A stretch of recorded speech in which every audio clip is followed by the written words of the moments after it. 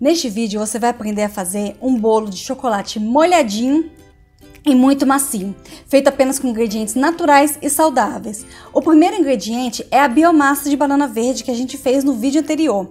Eu vou deixar o link aqui embaixo para facilitar o acesso de vocês. O outro ingrediente que a gente vai utilizar é o cacau, que além de trazer aquele aroma intenso de chocolate para a massa, ele também tem vários benefícios à saúde. Esse bolo também é sem trigo, sem leite e sem açúcar. Ou seja, ele atende as pessoas celíacas, as pessoas que não podem consumir o açúcar, né, como os diabéticos, e também aos intolerantes ou alérgicos ao leite. É, depois que vocês experimentarem esse delicioso bolo, vocês vão perceber que ele não tem gosto nenhum de banana ou mesmo da biomassa de banana e vai trazer vários benefícios à saúde de vocês.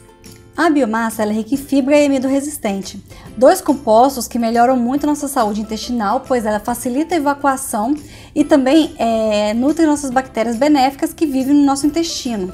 Já o cacau ele é rico em compostos antioxidantes, o que evita a produção excessiva de radicais livres produzidos pelas células, evitando aí, algum dano celular e também o envelhecimento mesmo da própria célula, o que pode reduzir algum risco aí de um futuro câncer é, em alguma parte do corpo.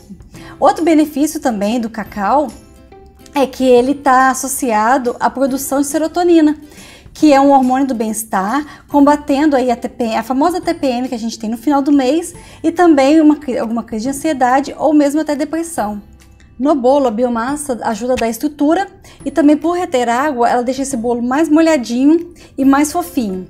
Já o cacau, ele vai melhorar a cor dele, vai melhorar o sabor né, e vai deixar um aroma irresistível por onde ele passa. Outra característica muito interessante desse bolo é que ele pode ser congelado por até 3 meses e você pode ir retirando ele pouco a pouco para levar para o seu serviço, para levar para um piquenique ou mesmo colocar numa lancheira e levar para a escola.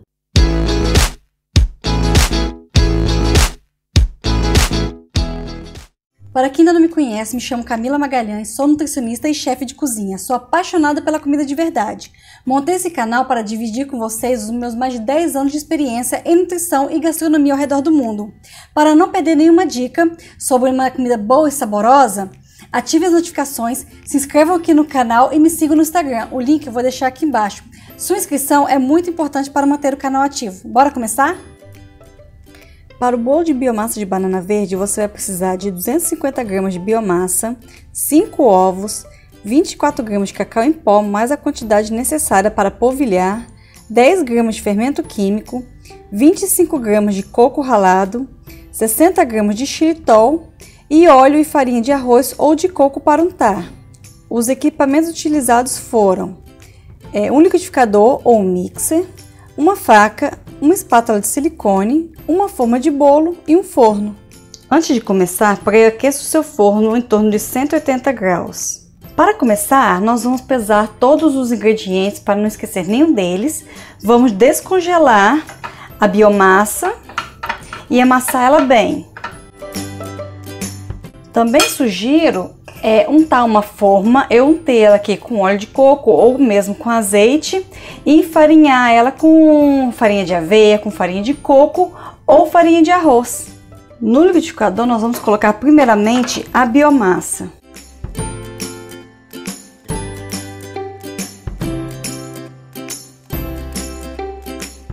Adicionamos também os ovos.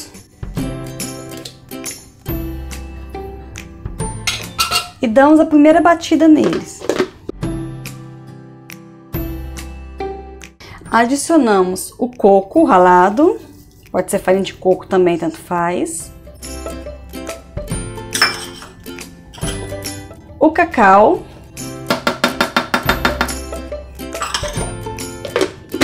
E batemos mais uma vez.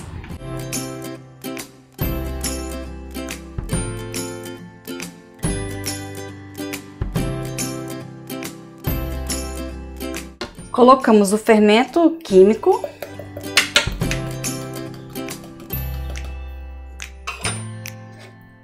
o xilitol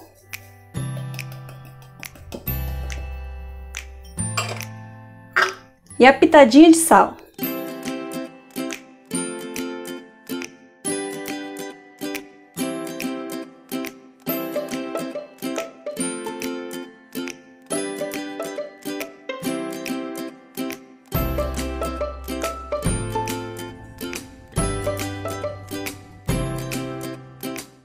Deixe assando no forno pelo menos por 20 minutos.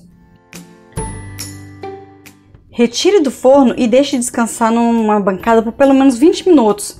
Assim a gente vai garantir que ele fique numa temperatura mais fria, que também fique mais fácil para a gente conseguir desenformar ele e não haver nenhum risco de quebra. Depois de frio, com cuidado, você vai passar uma faquinha em volta do bolo para conseguir liberar ele todinho e garantir que ele não está colado na forma. A minha forma, ela é de fundo falso, então isso facilita demais o meu trabalho aqui na hora de desenformar. Olha só que facilidade. Aí eu venho aqui com a faquinha com cuidado também.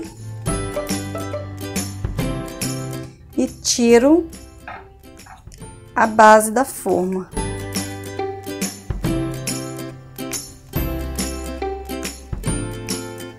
Pronto. E viramos mais uma vez com cuidado para deixar essa parte aqui aparente. Para finalizar esse bolo e deixar um toque especial, eu vou polvilhar um pouquinho de cacau em pó. É cacau, tá, gente? Não é chocolate em pó. E vamos dar umas batidinhas assim para ele ficar todo nevadinho. E pronto. Olha a belezinha.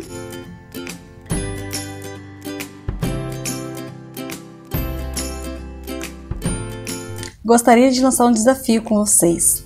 Façam essa receita e ofereçam a alguma pessoa que não conhece, não viu você fazendo esse processo e depois deixe aqui no comentário a reação delas. Com certeza vocês não vão se decepcionar. Se você gostou desse conteúdo e quer aprender mais, se inscreva no canal, deixe seu like e seu comentário. Para cursos e consultorias, clique no link aqui embaixo e entre em contato comigo. Te espero no próximo vídeo, hein?